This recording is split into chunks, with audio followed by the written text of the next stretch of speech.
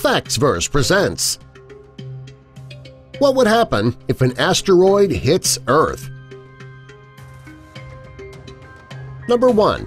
Asteroids are always passing by. It's not uncommon to read about asteroids flying by the Earth and nearly missing us.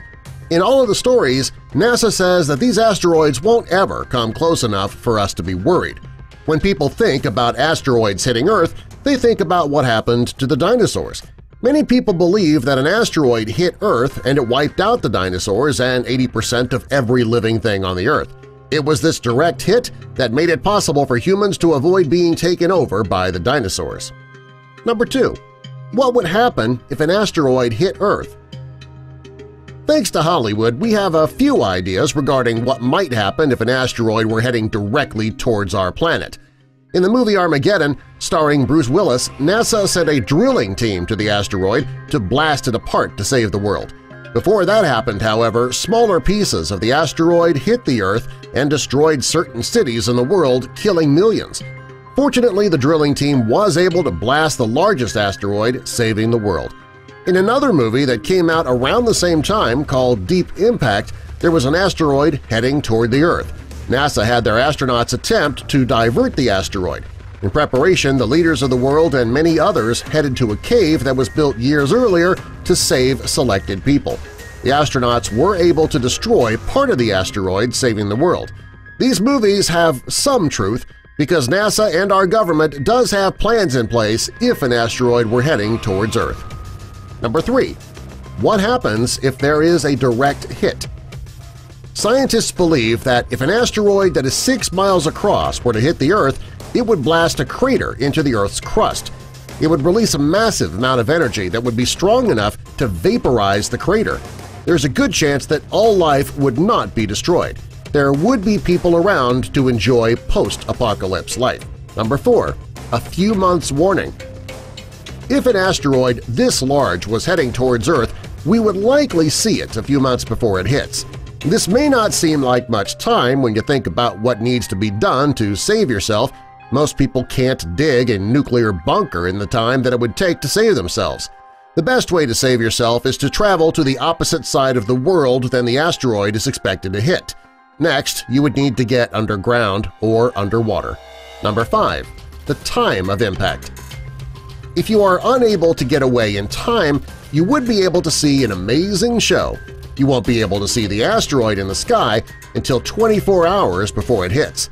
It'll shine in the night sky, but it'll likely look like a new planet. About two and a half hours before impact, you'll see it shooting towards Earth.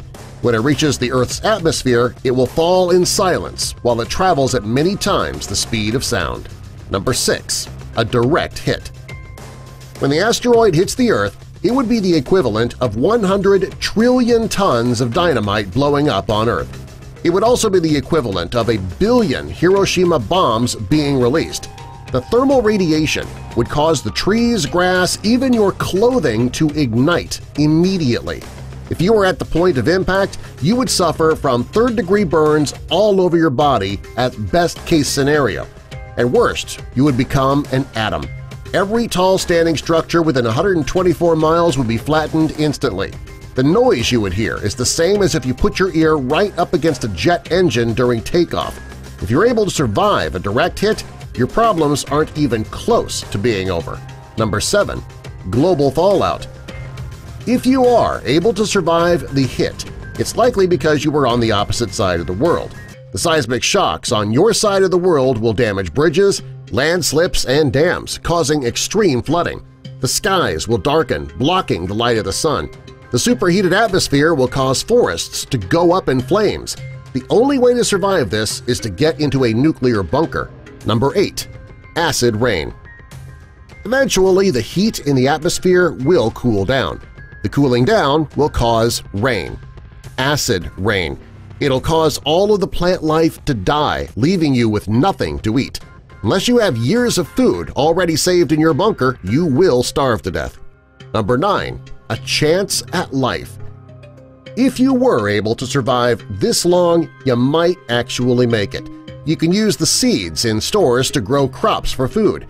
We can even use technology for vitro meat production.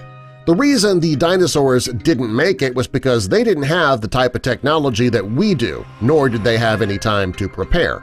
Number 10. A tiny population. If you are able to live this long, you are one of few. This means that it's up to you to create a new society, to create a new world, to repopulate the world. It might seem scary, but if you are able to survive the blast and the aftermath, you can make it through this. Number 11. We are safe. According to scientists, something like this will only happen once every billion years. That means you don't need to spend your life savings to build a bunker to hold up in during the devastation. Also, NASA does have ways to save mankind in this type of situation. The next time you read a story on the news about a closely passing asteroid, don't worry, the chances of what happened to the dinosaurs happening to us are slim to none. Subscribe for more.